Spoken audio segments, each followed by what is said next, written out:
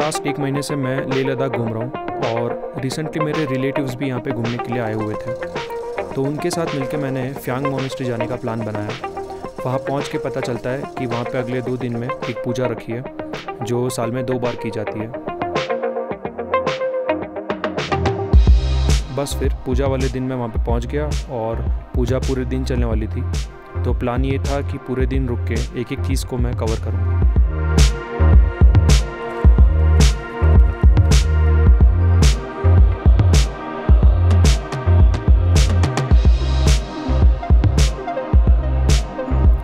करीब 10 या साढ़े दस बजे के आसपास पूजा का जो फ़र्स्ट पार्ट है, वो ख़त्म होता है और सारे जो लामाज है, वो ब्रेकफास्ट के लिए गए।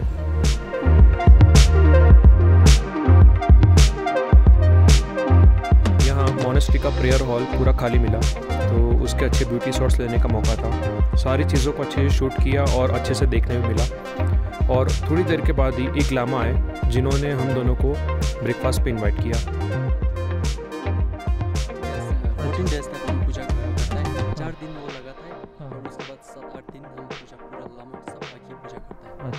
फिर लास्ट दिन हाँ लास्ट आज ब्रेकफास्ट के अंदर हम दोनों को बटर टी और कश्मीरी ब्रेड जिसको गिरदा रोटी कहा जाता है वो था और उसके साथ पीनट बटर और जाम भी दिया था।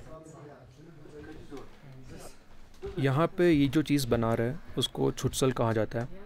सत्तू के आटे को बटर के साथ मिला के इसको बनाया जाता है और बाद में मोनेस्ट्री के ओपन एरियाज़ में इसको रखा जाता है। जिससे कि बर्ड्स आके उसको खा सके। ब्रेकफास्ट के बाद मोनेस्ट्री एक्सप्लोर करने के लिए हम लोग निकले। वहाँ पे टुंडुक नामग्याल करके एक लामा है, जिन्होंने वहाँ का जो सिक्सटीन सेंचुरी का ओल्ड टेंपल है, उसकी विज़िट करवाई और वहाँ की डिटेल्स दी। अनफॉर्चुनेटली वहाँ पे कैमराज अलाउड नहीं थे तो कुछ भी शूट नहीं कर पाया मैं। लेकिन अगर वहाँ पे आप जाते हो तो वो भी एक देखने जैसी चीज़ है।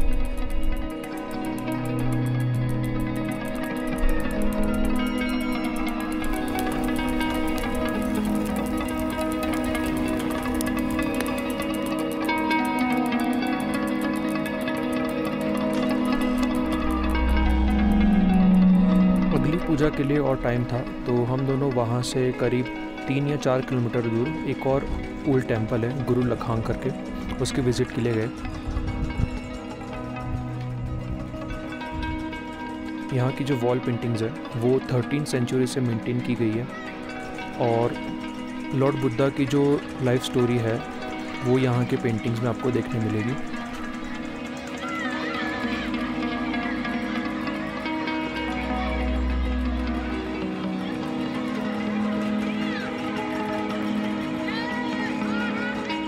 ये जो टेंपल है वो प्राइवेट फैमिली से बिलोंग करता है। तो ऐसा हो सकता है कि आप वहाँ पे जाओ और शायद से ये क्लोज हो। तो ये जो है वो चौसपेल जी है। आप इनको कांटेक्ट कर सकते हैं। फ्यांग में आपको होम स्टेज भी मिल जाएँगे और एयरटेल और जियो दोनों काफ़ी अच्छे स्पीड आपको देंगे।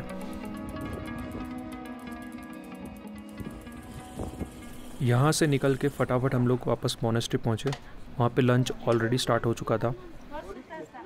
लंच के बाद हाफ़ एन आवर का हम लोग को टाइम मिला और उसके बाद जो आखिरी पूजा थी, उसको कवर करने में हम लोग बिज़ी हो गए।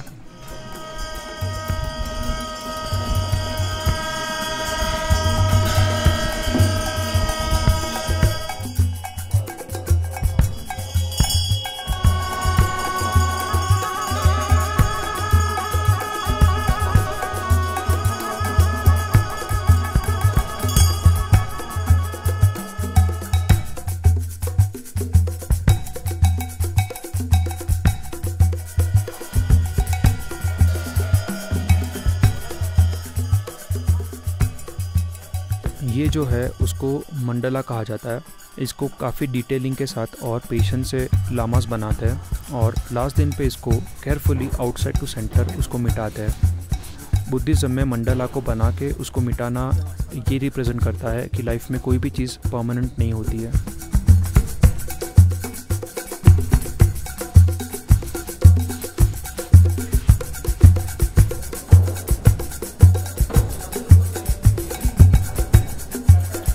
उसको मिटाने के बाद उसका जो थोड़ा सा पार्ट है, वो रिवर स्ट्रीम के पास लेके जाते हैं और वहाँ पे उसकी पूजा की जाती है।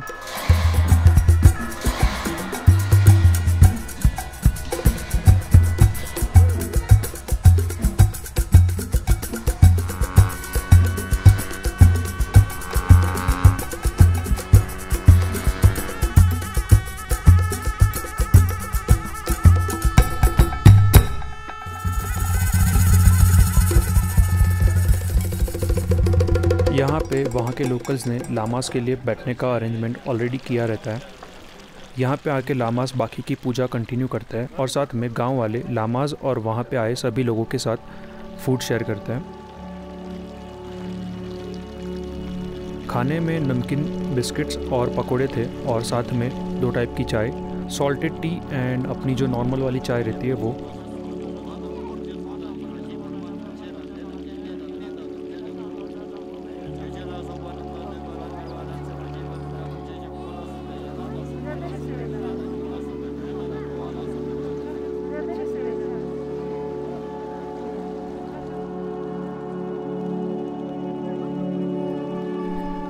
तो ये जो सारा रिचुअल है, वो साल भर के लिए वहाँ के लोगों को पानी की कमी ना हो, उसके लिए किया जाता है। अकॉर्डिंग टू लोकल्स ये रिचुअल को दुनचुद कहा जाता है और साल में इसको दो बार अलग अलग जगह पर किया जाता है।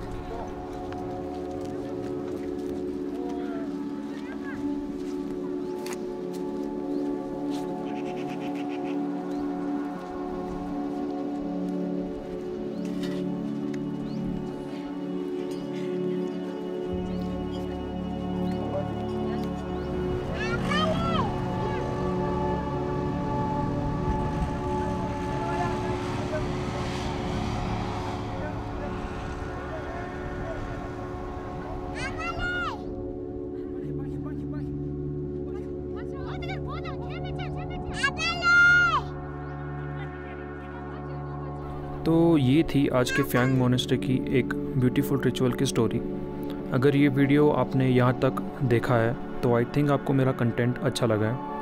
तो सब्सक्राइब करके एक छोटी सी हेल्प कर सकते हैं मेरी। लेके इस ट्रैवल सीरीज़ में और भी वीडियोज़ आने वाले हैं तो नेक्स्ट वीडियो तक सबको झूले।